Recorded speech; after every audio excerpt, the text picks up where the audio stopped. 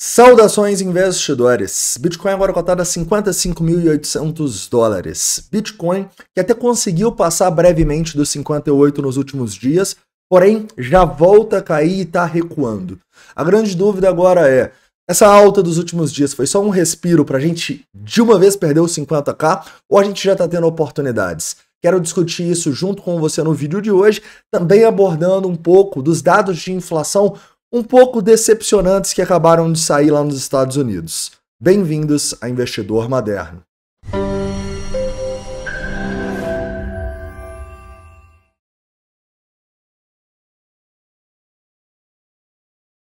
Investidor, então já vamos começar falando um pouco sobre os dados de inflação aqui, mas antes eu gostaria de lembrar vocês que são os últimos dias para você aproveitar o formulário da nossa parceria com a Bybit, tá bom? A partir daí você tem 15 dias dentro do nosso ecossistema de graça. É só você criar sua conta utilizando esse formulário aqui ou transferir sua identidade, é super simples, tá bom? Então eu vou deixar na descrição, aproveita que são os últimos dias aí, beleza? Show de bola, cara. Então vamos começar falando aqui um pouco sobre o que aconteceu lá nos Estados Unidos, né? E que, sem sombra de dúvida, está fazendo os mercados caírem.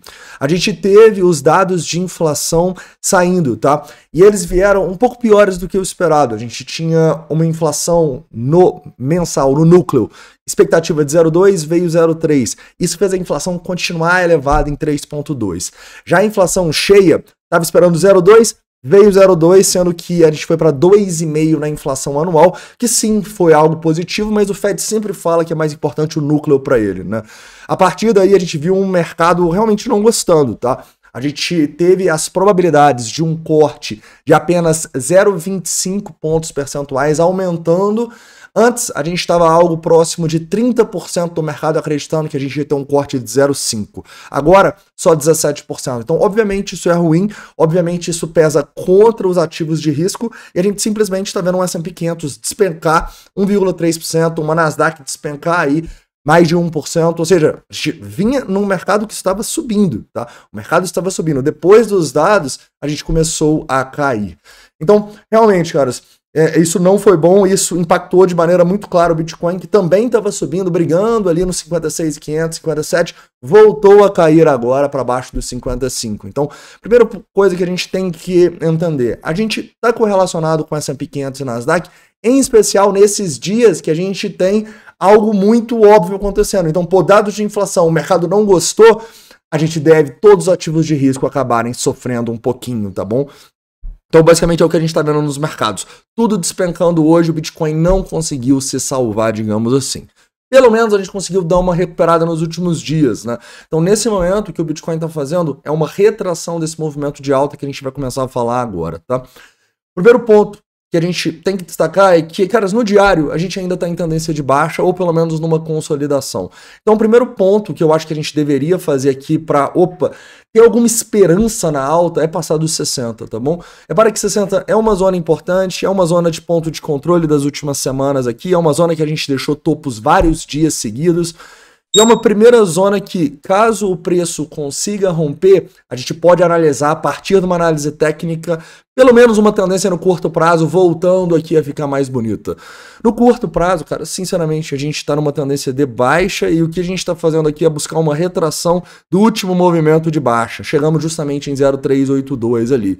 Tá? Então eu não me animaria muito no curto prazo, ou seja, eu acho que a visão é a mesma que a gente está tendo nas últimas semanas. Momento de correr alguns riscos no longo prazo, mas o curto prazo, cara, tá pesando contra. Então não estou fazendo trades no curto prazo, não estou tomando muito risco no curto prazo, porque eu sei que no curto prazo a situação está feia, beleza?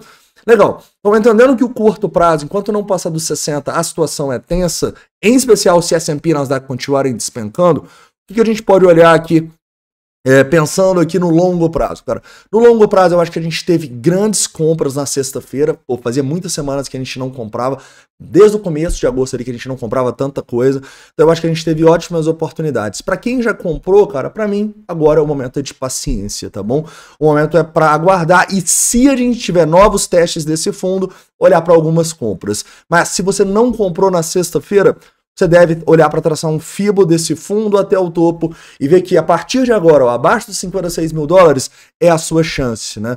E, e, é incrível, né? Como há dois dias atrás, aqui no 58, tava todo mundo falando que você tinha perdido a alta e era para você comprar. Lembra, cara? Na dúvida, não compra depois de dias de alta, em especial quando a gente só cai nos últimos meses.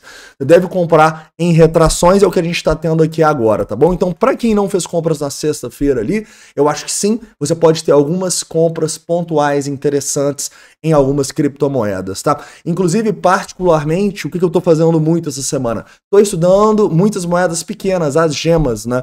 Porque são criptomoedas aí que possivelmente a gente vai ter novos investimentos nas próximas semanas. Afinal, eu realmente acho que no longo prazo, a gente continua apontando para cima e é só o curto prazo que está ruim. Então, eu ainda, ainda acho que é o momento de correr alguns riscos no longo prazo. Então, a gente vai estar estudando várias gemas aí nessas próximas semanas para enviar para os membros essas oportunidades de compra. Cara, as moedas que caíram 90, 80, 70% desde ali de março, praticamente todas caíram 70%, né? Então, eu acho de maneira muito clara é sim o momento de estudar e correr risco no longo prazo. No curto prazo, cara, eu não cogitaria longs daqui, tá bom? Apesar da gente ter sim alguns pontos positivos, tipo o maior volume em muito tempo ali naqueles fundinhos de sexta-feira, a gente ainda tem tendência de baixa, tá bom? Então, no curto prazo, eu só vou virar para bullish caso o preço passe dos 60 mil dólares e a gente veja uma melhora dos indicadores de sentimento, tá?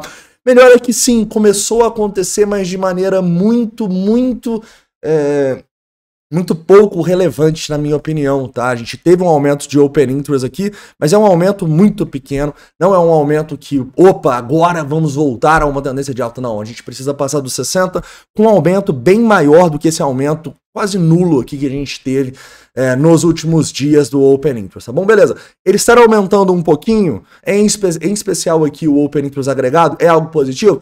É algo positivo, mas é algo muito pequeno ainda, próximo do que a gente precisa para sair dessa tendência de baixa, tá? Então, eu não me animaria muito no curto prazo, eu acho que a situação no curto prazo é tensa, e o que você deve fazer agora é olhar para estudar e tomar risco no longo prazo, não no curto, beleza?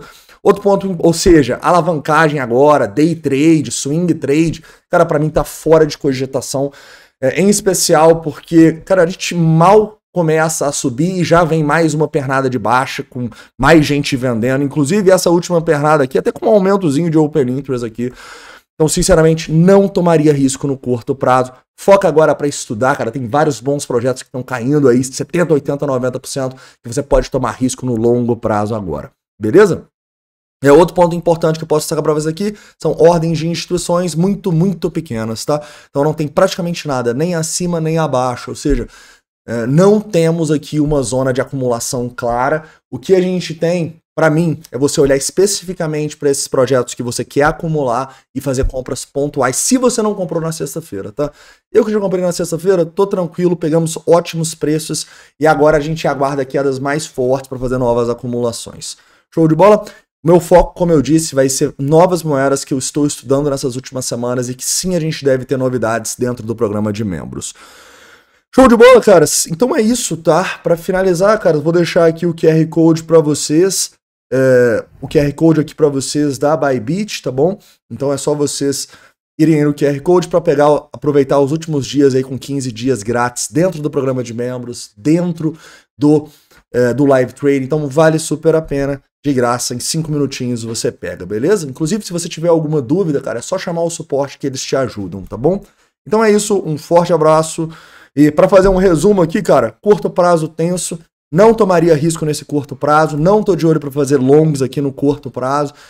Acho que tá muito ligado aí o S&P 500 e a Nasdaq que estão despencando, então o foco agora para mim deve ser estudos e compras no longo prazo, é o que a gente vai, vai estar fazendo essa semana. Beleza? Então é isso, um forte abraço e a gente se vê.